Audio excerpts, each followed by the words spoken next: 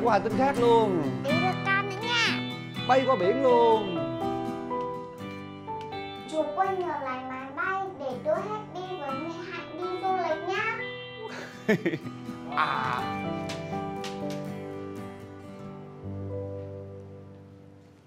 Anh Quân. Cháu chào cô ạ. Đứa bé này đâu ra đây? Cháu là con mẹ Hạnh ạ Em thì ngồi đợi anh sang làm việc. Còn anh ở đây chơi à? Ờ anh quên mất. Đây là công ty chứ có phải nhà trẻ đâu.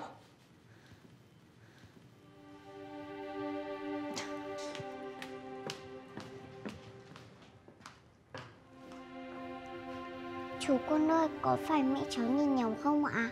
Kia, có phải là bà sếp hung dữ xấu tính của mẹ cháu không ạ?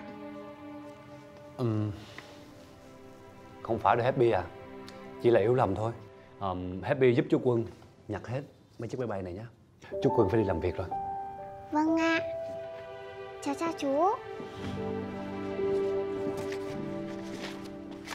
Chị, sao chị cứ bình chân như vậy thế? Em cứ nghĩ chị với anh Quân sớm muộn gì cũng về chung một nhà.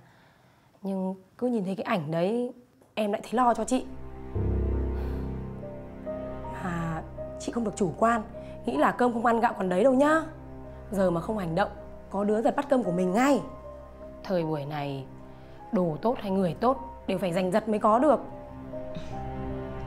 Chị cũng muốn xem Bản lĩnh của con bé thế nào bản lĩnh của nó không thường tí nào đâu em nghe nói ở phòng ấy thì dũng là người che chở minh là người hướng dẫn đến ngay cả thằng long vợ hay ghen như thế mà cũng thích cái hạnh ra mặt một cậu thanh niên trông cũng đẹp dai lắm, đến tận đây để tặng hoa.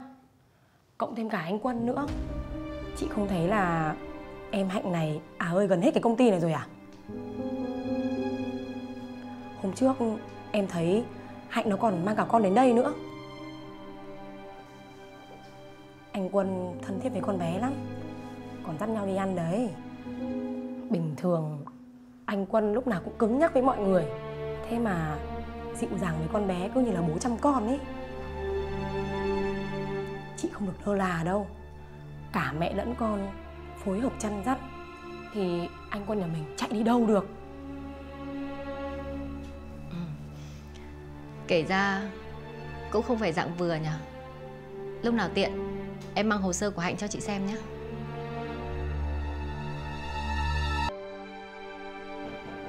Mời vào